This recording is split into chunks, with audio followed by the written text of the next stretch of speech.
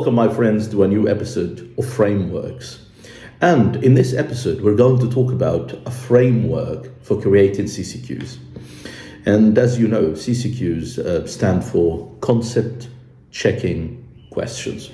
And concept checking questions are used to clarify uh, meaning, whether we're teaching vocabulary or structure.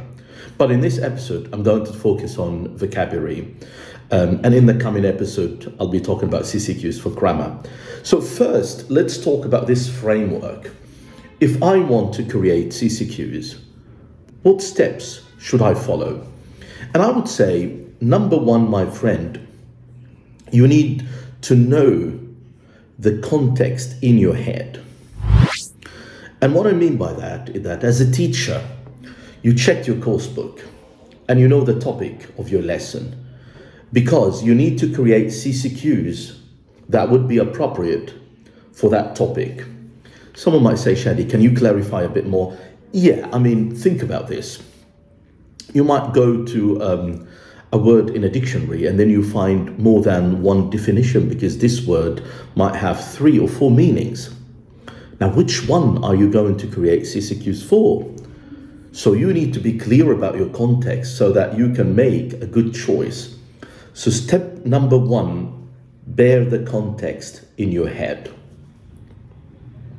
Step number two, check a couple of dictionaries.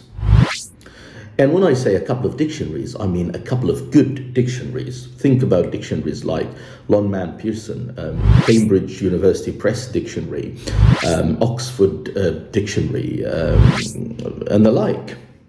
Right? Don't go to an unknown online dictionary that you you don't know um, who made this dictionary. Um, you, you know nothing about um, the publishing house. No you need to check a couple of trusted dictionaries. Someone might say, Shady, but why, why a couple of dictionaries? Isn't enough to check only one?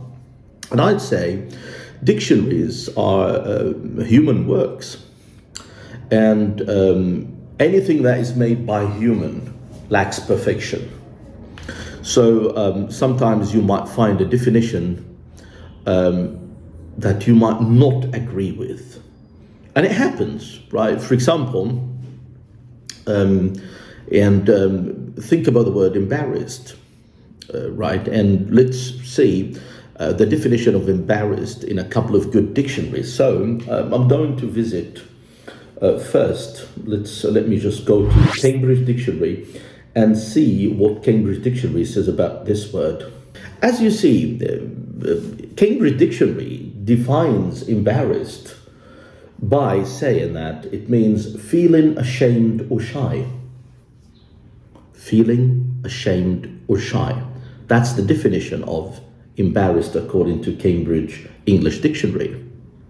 However, I kind of disagree with this because ashamed and, and, and shy are different from embarrassed.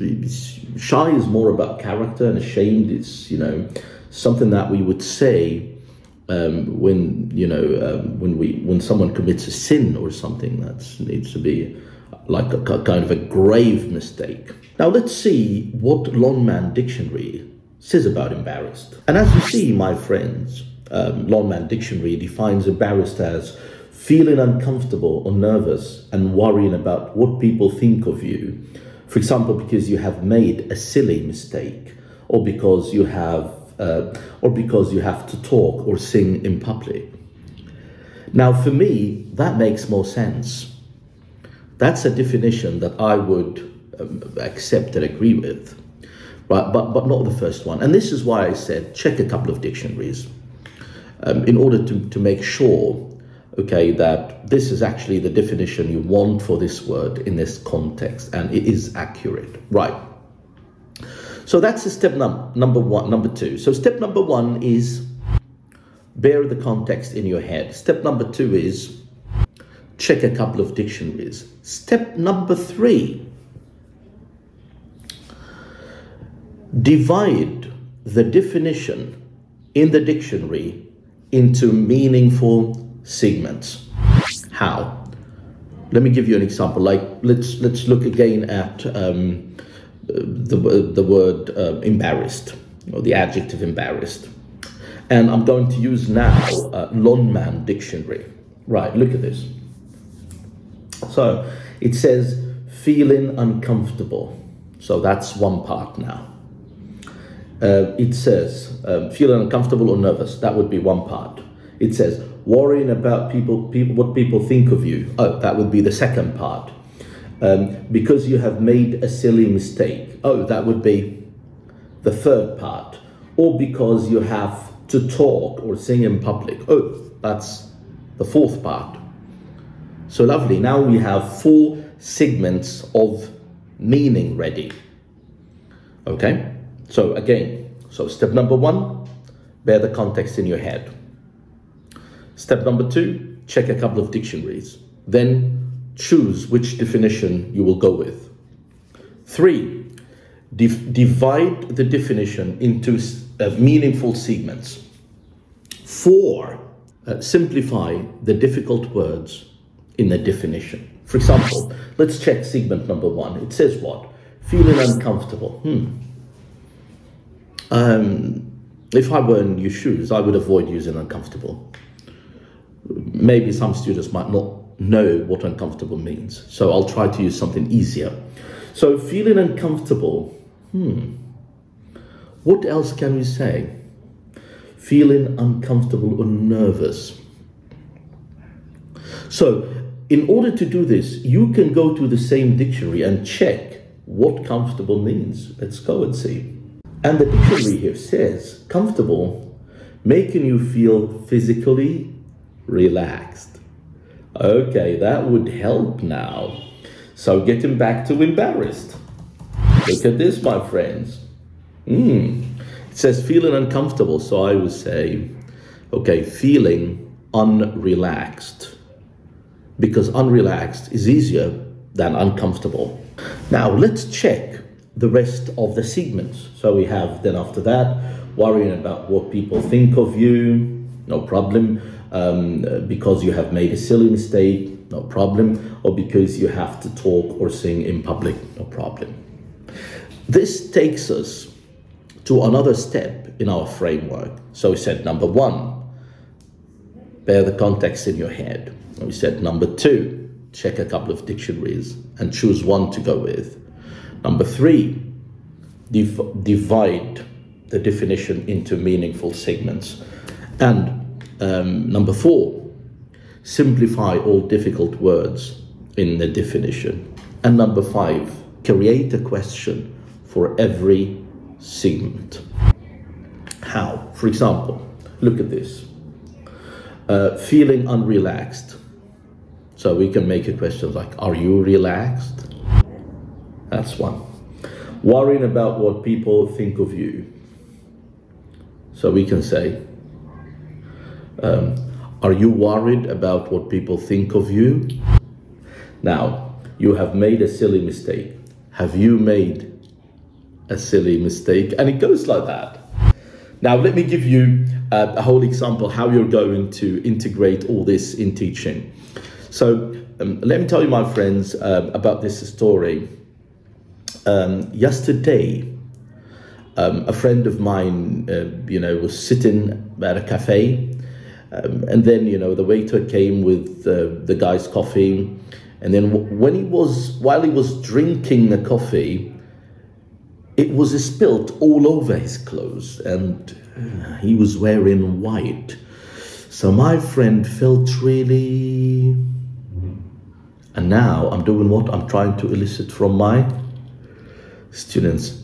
And then if someone said embarrassed, I will start my CCQs. If someone didn't say it, then um, I will say it, and then follow that with CCQs. Um, so yes, he felt really embarrassed. So when I say that my friend was embarrassed, was he relaxed? No, no, he wasn't. So of course I'm asking the questions and waiting for the answers from my students. Was he relaxed? No. No, he wasn't. Was he worried about what people might think of him? Yeah, yeah. Um, has he made a silly mistake? Yeah, yeah. right? So again, so this is how you use CCQs here.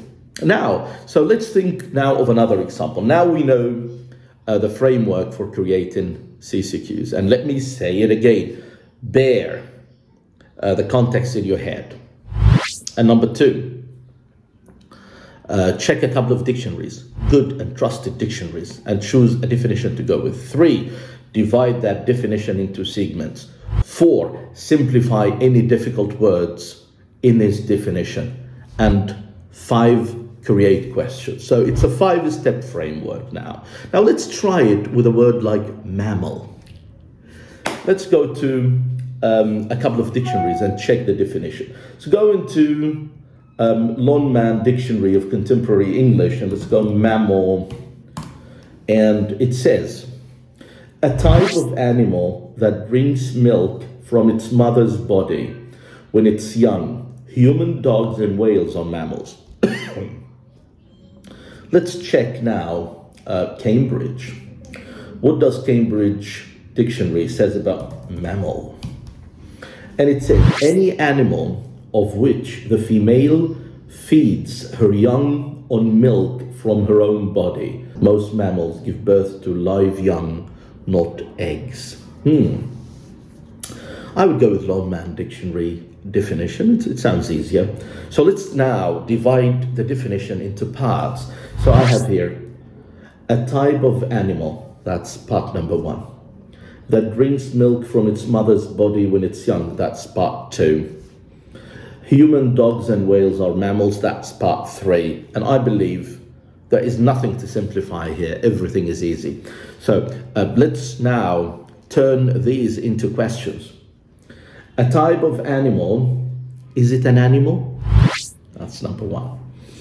Uh, that drinks milk from its mother's body when it's young. Does it drink milk from its mother's body when it's young? Three, humans, dogs, and whales are mammals. Are human dogs and whales mammals? Or you can say this. Which are mammals, snakes or dogs? Ha ha ha. Right. Okay, now let me kind of put it in um, a context, you know. Um, you know those animals that usually give birth and instead of laying eggs, they, they, they have a name in English.